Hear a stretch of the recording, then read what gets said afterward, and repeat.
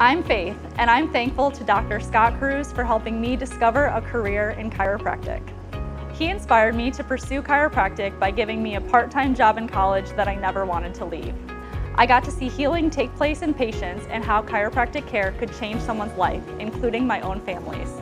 His consistent belief in me motivated me to take the next big step and continue my education at Palmer College of Chiropractic.